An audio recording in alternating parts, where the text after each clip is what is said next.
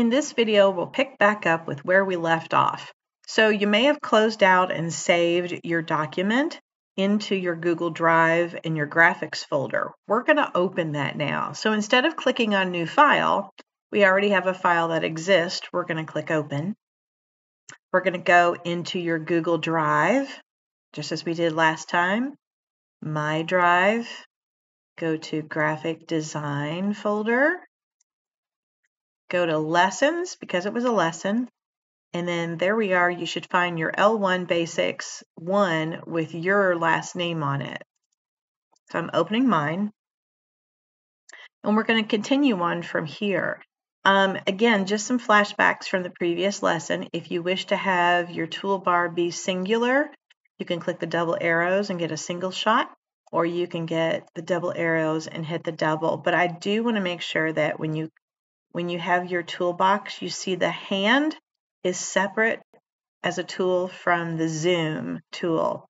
If you don't see that, you're going to go under the edit toolbar to its little menu and you want to click advanced.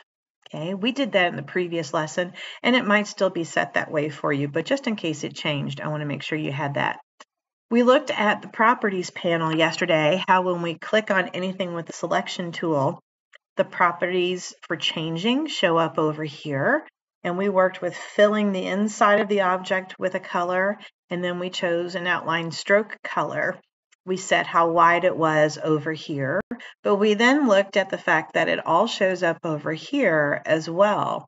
We have the fill box, which is now on top. So if I, if I change anything about this, it will definitely change the inside.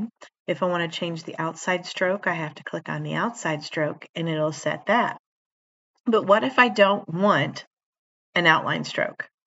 I can click the little none box. And we have that same look over here. When we click on this, we have the none or no fill box right there. So I can click it in either place to take or remove the stroke off of the circle. Okay, so from here on out, we aren't going to have any shapes that we build that will have an outline stroke unless we tell it with either double clicking here to pick a color, or if we come over here and pick a color from this space. All right, so right now we're working with just a solid filled color uh, and a shape with no outline. All right, carrying on, here's some other good good deals to know about. Um, we looked at properties and we looked at layers.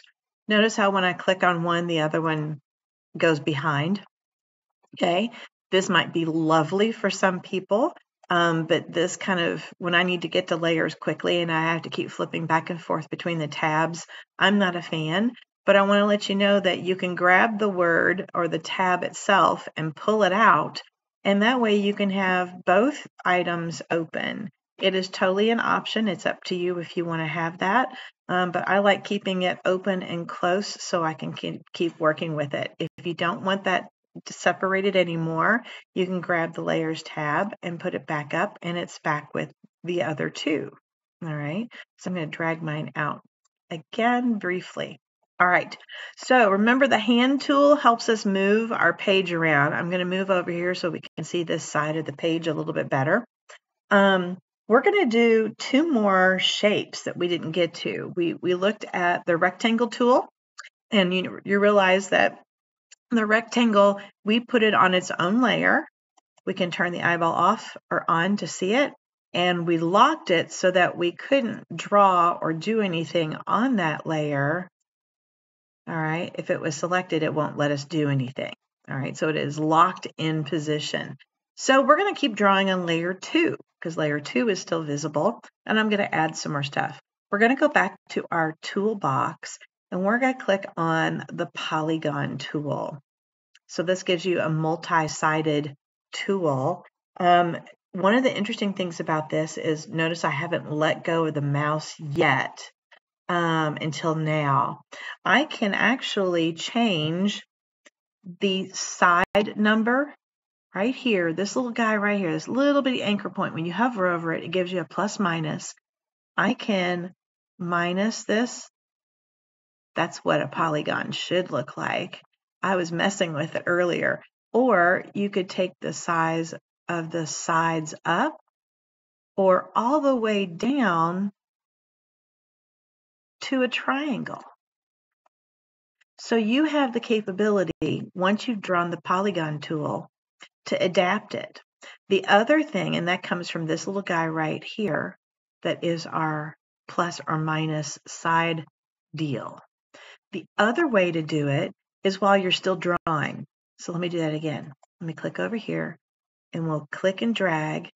And while I am still dragging it, I can hit my arrow down or up to make more sides or less sides. And once you get what you want, you then let go of the mouse and there's your shape with the chosen amount of sides you wish. All right, so there's two different ways to approach it. If you're like, man, I really want to have more, you can click on this and you can hover over the little anchor that is the change of sides and you can adjust it still okay? Or you can adjust it with up and down arrows on your keyboard while you're drawing it. The same thing works great with stars. So let's check out a star here. Here's our basic five point star. All right. I have not let go of the mouse clicker and I can go set, set it for me. Let's do this again. Let me do one more it set it for me after too long. So I can go with arrow keys. I could hold the arrow key and keep going, going, going, going. That's ridiculous, right? Or I could hold the arrow keys and go backwards and get back to my five point star. Nice. All right. It too has a little more sides or fewer points. So I could add more points here or fewer ones again. So even once you've drawn an object, you still have ways in which you can manipulate the shape um, by adding sides or points to some different things. Yesterday we talked about how when we drew a, a square or a circle, when we hold down the shift key, it will constrain it into a nice equal four-sided square or a perfectly uh, constrained circle when you hold down the shift key. So those are just some flashbacks and a, and a few new tidbits from today. One other thing I'd like to show you, I'm going to change the color of this green here momentarily. Let's turn it into something bright yellow. Okay, so I have this object here, this wonderful square. I'm going to use my selection tool and I'd like to make more of these squares. Let me show you a shortcut. I could make more of these squares by trying to draw them accurately over and over and over again, but there's a quick way to kind of create a copy. I'm going to hold down my Alt key, click the object, and drag it. That. Alt, click, drag. Alt, click, drag. And I can make innumerable amounts of these. I could even, wait for it, select these two together click, drag, and now I've made two more of those objects.